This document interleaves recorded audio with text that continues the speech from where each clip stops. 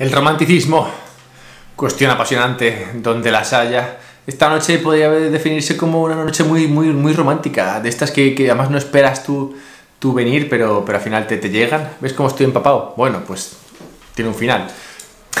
o tiene una explicación, más que nada. Sí, resulta que... Todo tiene explicación. Resulta que hemos, hemos ido a cenar, ¿vale? Y, y de esto que vas a cenar, y aquí estamos en el barrio este de Alfama, en la parte más alejada de lo que viene siendo eh, Alfama.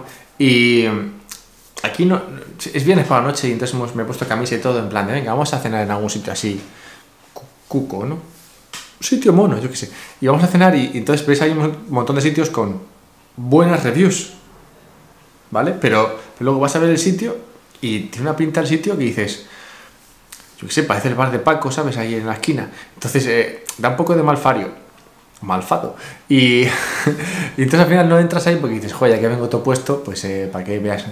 Como que no pega, ¿sabes? Y porque es como un comedor, con, con manteles de papel y tal. Entonces dices, ah, a ver, que no, es que, que no es que aquí nademos en pasta, ¿sabes? O sea, esto es un Airbnb y tal, y además bastante cutrecillo. O sea, que no es que, no es que nademos en dinero, pero, bueno, hombre, viene por la noche, gastarte, no sé, 40 brazos en salir a cenar, pues oye, se puede, se puede permitir, ¿no? En plan, sobre todo aquí en Lisboa, que la cosa es baratilla. Yo que sé, en Madrid salían 50, aquí con 40 igual lo tiras. Entonces vas ahí buscando bares y tal, y al final no encuentras ningún bar. Bueno, ningún restaurante que sea medianamente apañado. Y, y, claro, encima no te das cuenta de que no estás en España, porque a veces sales de tu zona de confort y llegas a otros países, y aquí en Lisboa, que mira tú que está al lado, pues se cena mucho antes y a las 10 de la noche te han cerrado la cocina. O sea que habían cerrado la cocina ya de casi todos los sitios. Y solo quedaba un sitio bastante fino, por otra parte. Así que hemos dicho, bueno, venga, pues total, ya que tal, pues sitio tan fino que es de estos que te dejan ver la carta antes de decirte si hay mesa. ¿no? En plan, está medio restaurante vacío, pero cuando entramos, la chica nos dice, bueno, aquí está la carta. Voy a ver si hay mesa disponible. Y se va.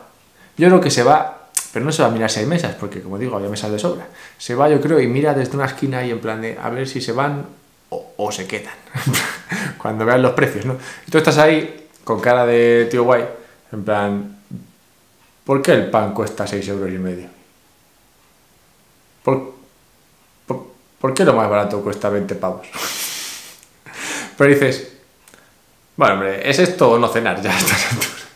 Así que Así que, a un carajo. Y total, de agua hay que morir. Así que si al final sales a cenar para 40 euros, te gastas 160. ¿Es eso romántico o no? Eso es en parte romántico, ¿no? Porque ya que estás ahí dices, venga, ya tiramos la casa por la ventana, al carajo, o sea, al carajo. Y, y luego ya sales y la cosa se vuelve más romántica, ¿no? Porque llueve. Y dices, ah, qué guay. Las aceras en Lisboa no están preparadas para que tú te pases por ahí, ¿sabes? Con lluvia, porque se os ocurrió hacerlo esto, rollo el Acuópolis, ¿sabes? Para que resbale lo máximo posible. Así que cuando llueve, te cagas. Pero bueno, también romántico, ¿no? Porque con la lluvia y tal, y además, pues eh, la grada Lemoza, ¿no? Que es francesa y le da por, pues, por hacer cosas de franceses, cantar. Y, y entonces, pues eh, mola, mola. Entonces, todo muy romántico. ¿Es esto romántico? Ya me entro ahí. Esto era la introducción. claro últimamente he estado hablando bastante con ella sobre el romanticismo porque, claro, esto es una cuestión, en mi, a mi opinión, muy subjetiva, ¿no? En plan, ella dice, no sé quién no es romántico o no sé quién no es romántica. Y digo yo, pues hombre, eso habrá que verlo, ¿sabes? Porque al final, ¿qué significa ser romántico? O sea, significa que, haces cosas que son, que son románticas, entiendo. Pero ¿qué es eso, ser romántico? Porque, claro, tú puedes pensar, cena con velas en un sitio mono viendo todo Lisboa, porque si había vistas, viendo todo Lisboa y tal, eso es, eso es mono, es romántico. Pues hombre, según. Ah, para algunos simplemente es caro, para otros podría ser romántico. No está, no está del todo claro. Luego, en plan, pasear bajo la lluvia, por un puente, con un río, es romántico. Ah, para algunos podría ser estúpido, para otros puede ser romántico. Incluso dentro de la misma pareja pues ser que para uno sea estúpido y esté plaseando por ahí en plan de me cago en su madre, qué puente más largo, mientras que el otro o la otra puede estar pensando en plan de, joder, qué romántico este momento en el cual estoy compartiendo aquí este rato de malestar húmedo con mi pareja.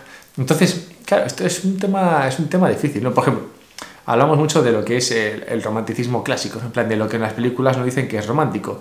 Tú ves una película romántica y hacen cosas, pues dices, joder, lo que están haciendo es romántico. Pero claro, eso puede ser como el mainstream del romanticismo.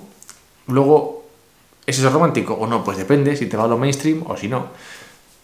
Si te va a lo mainstream, pues entonces entenderás que sí, cena en París con velas de noche, con vistas a el Sena, romántico.